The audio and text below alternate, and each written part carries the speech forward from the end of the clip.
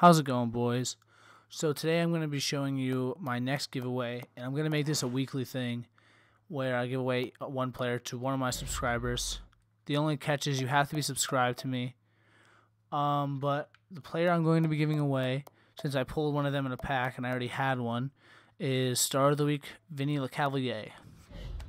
So, yeah, as you can tell, he's 89 skating, 89 shooting, 91 hands, 91 checking, and 88 defense. So, I mean, obviously, he's an overall great player, and anybody would be lucky to have him. I so happen to have two, so I'm going to be giving one away. So, all you have to do is just comment saying I'm in or something else, whatever you want. Just only one comment, please. And yeah, that's about it. So, good luck to all of you, and peace.